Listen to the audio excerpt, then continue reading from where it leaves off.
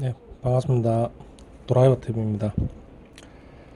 아, 오늘 어, 비가 좀 오는 날인데 예, 멀리 저기 순천에서 직접 오, 신 분이 계셨는데 아, 이 어, 노트북을 어, 직접 가지고 오셨어요. 가지고 오셨는데 어, 뭐 이렇게 간헐적으로 부팅이 됐다 안 됐다 하는 증상이 있어서 갖고 오셨다고 하셨습니다. 예, 근데 제가 좀 뜯어보고 나서 아, 참 좀 그렇네요. 제가 이전 영상에도 한번 올렸었고 저희 그 블로그에 보시면 그 수리 사례 중에도 어, 이런 경우들이 조금 있었는데요. 어, 제가 올해도 지금 벌써 한, 한 세 대 정도째 비슷한 이런 좀 상황을 보는 것 같습니다. 어, 여기 지금 화면에 자세히 보시면 요거 보이시죠? 요거. 이게 뭘까요? 예, 은색으로 되어 있는 뭔가 찐득찐득한 것이 보입니다.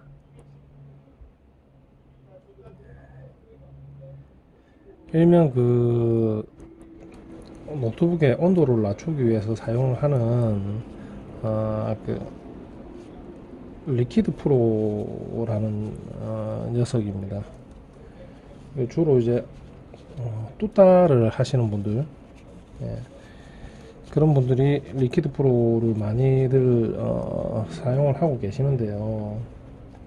물론 효과는 좋습니다. 뭐 효과가 좋은 거는 어, 뭐 저도 인정을 합니다. 인정하는데 이런 그 데스크탑이 아닌 이런 노트북에는 어, 이런 Liquid Pro 종류를 바르실 때는 어, 조금 고려를 좀 하셔야 될 것 같습니다. 지금 보시는 바와 같이 이 Liquid Pro 종류들은 어, 한번 이렇게 그 보드나 이런 쪽으로 이렇게 점착이 되게 되면 제거가 상당히 힘듭니다. 지금 또 보시면 제가 지금 휴지 같은 걸로 이렇게 문대게 되면 지금 번지죠.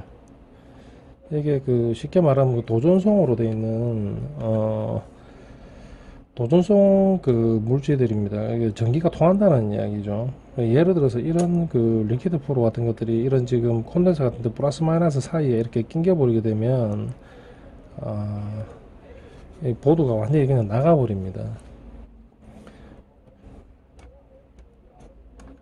제가 지금 이것도 한번 봐볼게요. 지금 이분은 어, 저한테 이야기는 안 해주시고 가셨는데 뚜따를 하셨어요. 지금 여기 자세히 보시면 실리콘으로 이렇게 지금 처리를 해놨죠. 뚜따를 하신 다음에 어, 여기 그 코어 있는 부분에다가 그 Liquid Pro를 바르고 어, 그 주변으로 이렇게, 이렇게 실리콘으로 쌓아서 이게 지금 흐르는 걸 방지하도록 지금 해 놓으신 상태입니다. 근데 지금 보시는 바와 같이 여기 옆에 보시면 CPU 옆에도 지금 보이죠? 이미 새 버렸습니다 지금. 어, 아무리 이걸 깨끗하게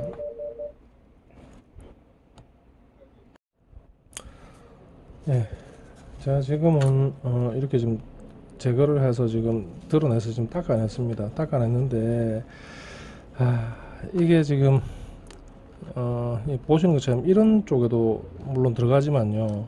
제일 위험한 쪽이 어디냐면 예전에 또 한번 이런 경우가 있었습니다. 있었는데 이런 그 CPU 핀 사이 CPU 핀하고 핀 사이에 이런 쪽으로도 리퀴드가 들어갑니다. 이 바르실 때는 어, 이걸 잘 그 인지를 못 하시는데 지금 여기도 보세요 여기도 지금 보시면 리퀴드가 지금 묻어 있죠. 이 리퀴드입니다.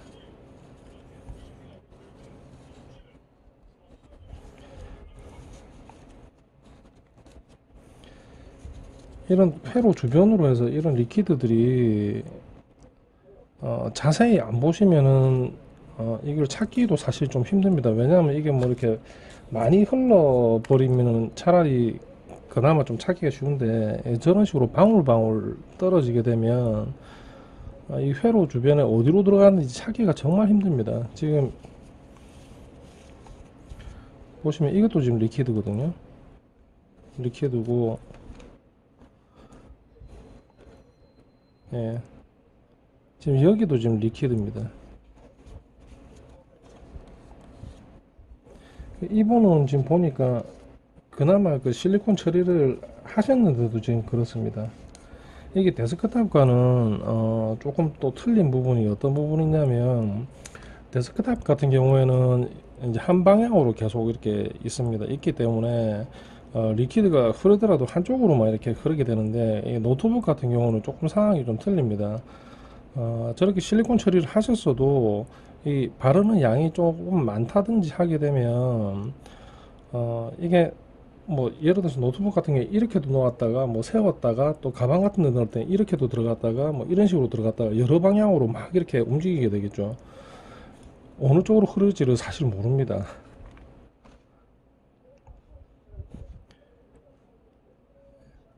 지금 제가 아까 이쪽 편에 안쪽으로 들어가 있는 liquid 옆 핀하고 핀 중간쯤에 하나 들어가 있던 거 하나 지금 빼냈거든요. 빼냈는데 이것도 제거가 상당히 좀 힘들어요. 힘들고 어, 세척을 해도 liquid 종류들은 예, 잘 안 집니다. 지금 여기도 좀 있네요.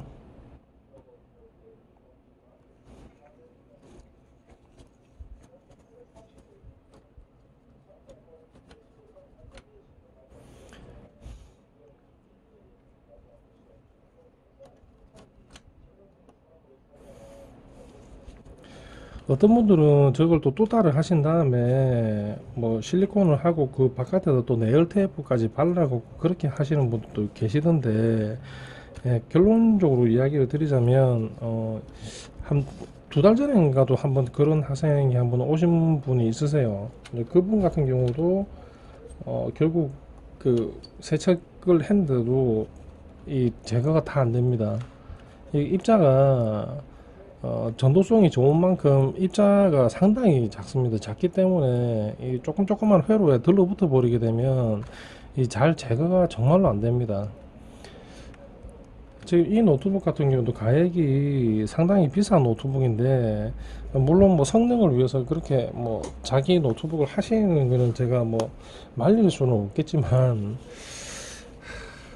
그 온도 한 5도, 10도 뭐 많으면은 뭐 한 20도까지 낮아진다 칩시다. 쳐도 어, 그 온도 조금 때문에 어, 멀쩡한 노트북을 이렇게 날려버릴 수도 있습니다. 근데 이런 부분들은 좀 감안을 하시고 어, 하셔야 될 것 같습니다. 예, 제가 추천드리는 거는 데스크탑은 모르겠지만 이 노트북 같은 경우에는 liquid 같은 이런 액상으로 되어 있는 어, 이런 그 전에 그 전도성 물질로 되어 있는 이런 그 써멀은 예, 될 수 있으시면 예, 도포를 안 하시는 것이 가장 좋습니다. 지금 이분도 급하게 이게 순천에서 이까지 부산까지 거리가 3시간 반 타고 오셨다고 하시더라고요. 지금 여기도 보면 이렇게 liquid가 묻어 있어요. 그 결정적인 거는 이분은 또 CPU 핀도 한 4개, 4개, 5개 정도로 휘어갖고 오셨는데 그 부분도 제가 지금 다 핀 상태고요. 이 liquid 같은 게 이런 핀 사이로 만약에 들어갔다 치면 어, 상황이 상당히 좀 골치 아픕니다. 게다가 이렇게 이분도 사실 저한테 뭐 이렇게 이런저런 이야기를 해주시지가 않았거든요. 그냥 전원이 그냥 안 들어온다라고만 이야기를 어, 전원은 들어오는데 화면이 안 뜬다고만 이야기를 하셨는데 어, 이렇게 리퀴드라든지 이런 걸 바르신 분들은 필히 수리하시는 분들한테 이야기를 해주셔야 됩니다. 그 제가 일전에도 어떤 일이 있었냐면 어, 그분도 학생분이셨는데 리퀴드를 발랐다는 이야기를 안 하셨어요. 그래 그냥 내부 청소만 좀 해달라고 하셔서 어, 이걸 이제 CPU로 들었는데 이제 그 이런 그 히트싱크죠. 히트싱크를 딱 제거를 하는 순간 쭉 흘러버렸어요.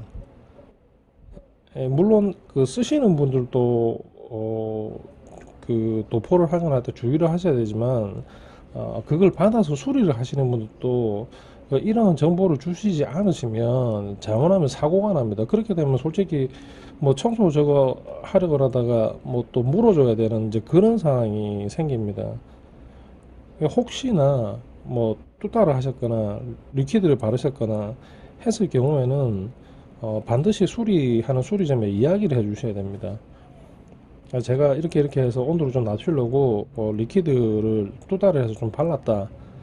뭐 그렇게 이야기를 해 주셔야지만 어, 그분도 또 그에 맞게 조심스럽게 작업을 진행하게 됩니다. 만약에 저걸 바르지 않았다라고 어 뭐 발랐는지 이야기를 안 했다라고 생각되면 그냥 뭐 나사 프로서 이렇게 들어 올리겠죠. 들어 올리는 순간 그냥 쭉 떨어지든지 뭐 묻든지 뭐 이렇게 해야 돼 버리면 끝나는 겁니다. 그냥 예, 그런 부분들을 예, 정말 좀 어, 수리하시기 전에 어, 바르실 때도 조금 고민하시고 바르시고요.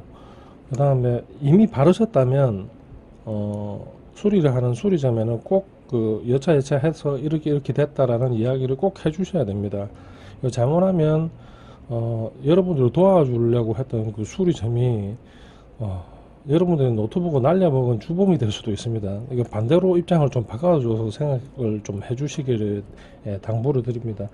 자, 이 제품은 제가 아직 뭐 수리를 조금 더 진행을 해 봐야 되겠지만 어, 일단은 어, 제가 이러이러한 사항들이 있어서 예, 한번 어, 주의를 좀 드리기 위해서 영상을 어, 미리 지금 찍고 있는 겁니다. 어쨌든 뭐 처리가 잘 됐으면 좋겠는데요. 순천에서 여기까지 뭐 3시간 반 넘게 차를 타고 오셨는데 아, 그리고 또 하나 어, 당부드리자면 가끔 가다가 어, 먼 지방에서 직접 오시는 분들이 계세요. 계시는데 노트북은 어, 그분들이 오신다고 하셔도 바로 제가 수리를 해드릴 수가 없습니다. 이제 그렇게 해도 불가능하고요. 예. 그러니까 꼭 만약에 뭐 이렇게 타 지역에 계신 분들 중에서 저한테 수리를 받으시고 싶으시다면 어, 그냥 안전하게 포장을 하셔서 택배로 보내주시는 게 낫습니다. 예. 자, 오늘은 어, Liquid Pro가 묻은 노트북이 한 대가 들어와서 예, 제가 한번 어, 주의사항에 대해서 알려드렸습니다. 이렇게 예, 뚜따를 하시고 어, 겉에 실리콘까지 쏘았다고 하더라도 흐릅니다. 예, 이 흐르는 경우도 제가 많이 봐서 이야기를 드리는 겁니다. 이렇게 해서 수리가 안 되는 경우들이 꽤 나옵니다. 예, 특히 조심하셔야 되고요. 한번 바르실 때는 노트북 같은 경우에 특히 이런 고가형 노트북에는 한 번 더 생각을 하셔서 예, 도포를 하시기를 예, 당부드립니다. 자, 이상 도라에바 TV였습니다.